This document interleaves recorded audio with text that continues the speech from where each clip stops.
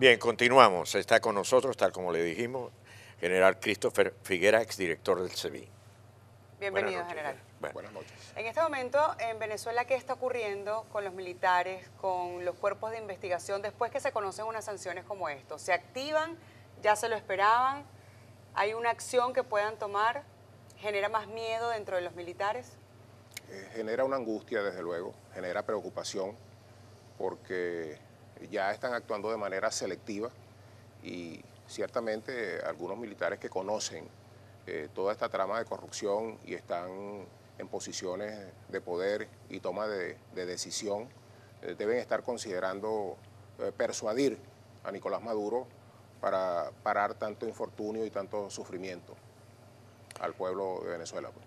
General, hay algo que me preocupa muchísimo del día de hoy y es,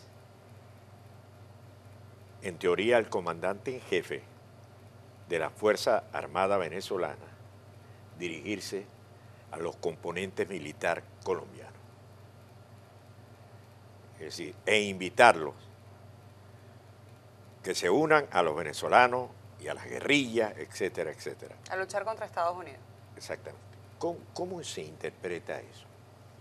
Bueno, cada, cada país, cada Estado-nación tiene sus propios problemas. Y hacer una invitación tan aventurera como esa eh, es, delicado, porque durante mi paso por Colombia mm, me di cuenta que ellos también tienen sus problemas, como los tiene acá Estados Unidos, sus problemas sociales, y, los gobernantes se abocan a tratar de resolverlo. Sin embargo, eh, en Colombia pasó un fenómeno que no ha sido lo suficientemente explicado tal vez, que fue cuando eh, el expresidente Santo eh, hizo un referéndum, referéndum para tratar eh, de que la guerrilla colombiana en el proceso de pacificación ocupara unos cargos en el Congreso, unos curules en el Congreso.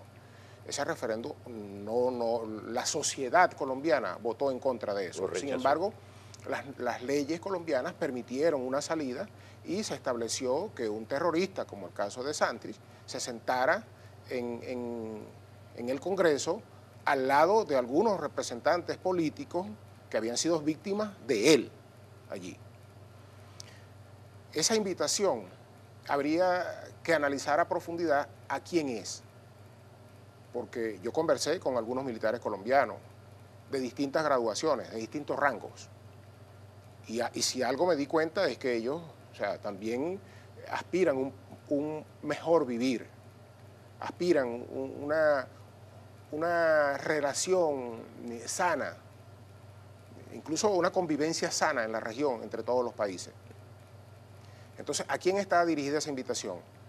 Es posible que haya algún militar eh, colombiano que esté coqueteando con Maduro, es posible, no es descartable eso.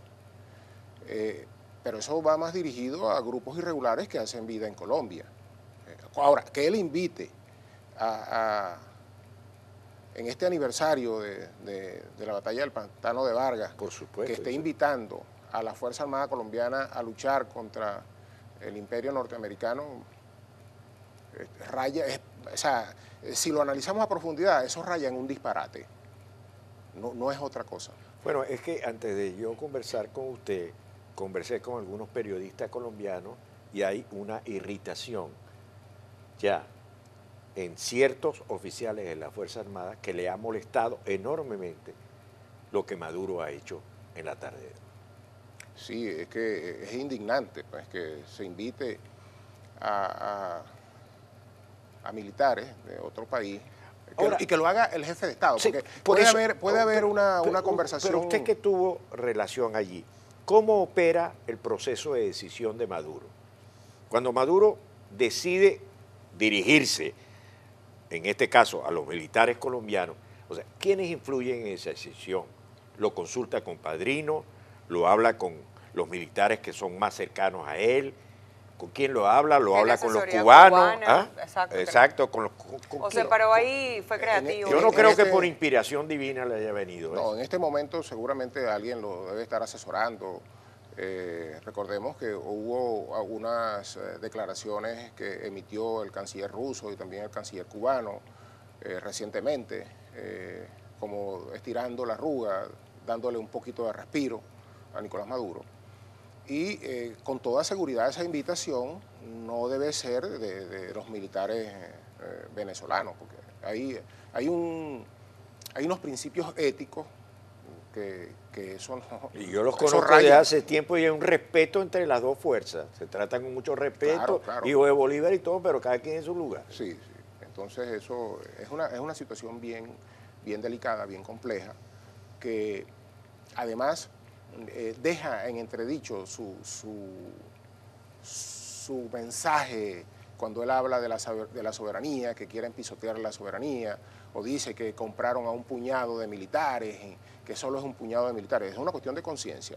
Y usted señalaba, señorita, un tema que decía la sanción a, los CLAC. No, están sancionando selectivamente a unos empresarios que han, a todas luces... Sí, claro, pero en este caso la vinculación es por los negocios que él estaba haciendo con, con los CLAC. No es que estaban sancionando ni las cajas, ni la, ni, ah, ni la idea de darle la ayuda a los venezolanos con las cajas. Todo lo contrario, se cuestionaba que él hubiese hecho negocios que con, la excusa de la ayuda robara del pueblo venezolano. Eso Ahora, aparte de las palabras que también Maduro mencionó hoy en este mismo discurso, eh, al inicio hablaba de la traición y la intriga que podía haber dentro del cuerpo castrense venezolano. Y eso también es como un mensaje a García. Nos imaginamos que, por ejemplo, usted en varias oportunidades lo, ha llamado...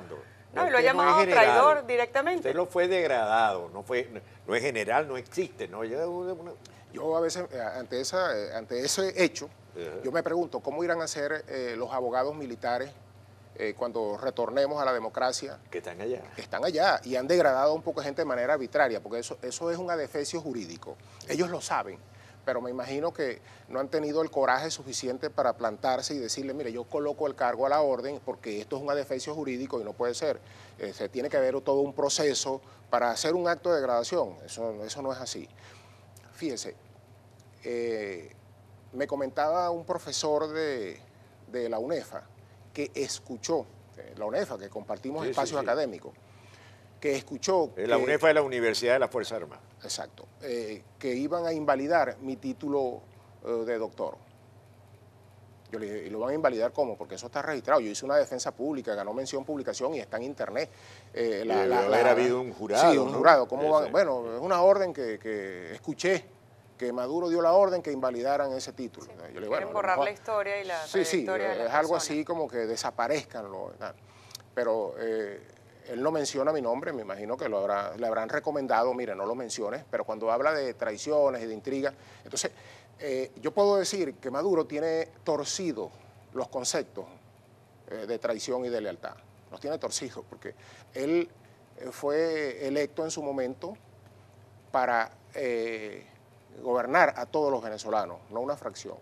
Entonces ha corrompido a, una, a, un sector importante de mandos militares para él permanecer allí teniendo, pues, eh, ya ustedes han, dicho, los sancionados, la familia presidencial involucrada Pero si él está hablando de, traición, en su criterio, lo que para él es una sanción, es decir, que dentro del cuerpo castrense en este momento hay quienes están en contra de Maduro, así los haya comprado, así los haya volteado, les haya lavado el cerebro. ¿Se está dando eso en este momento? Claro, porque hay, hay militares que nada tienen que ver. Yo voy a poner mi caso. A mí me sancionaron y yo he preguntado con altos funcionarios del gobierno. Yo le digo, ¿cuál fue el criterio que ustedes utilizaron para sancionarme? Bueno, pues estaba al frente de una institución que ha hecho, ha hecho tratos crueles y eso. Y bueno, y te sancionaron, eso, porque eh, la sanción tenía que ver con aspectos económicos. Yo le dije, pero bueno, ¿qué me van a quitar?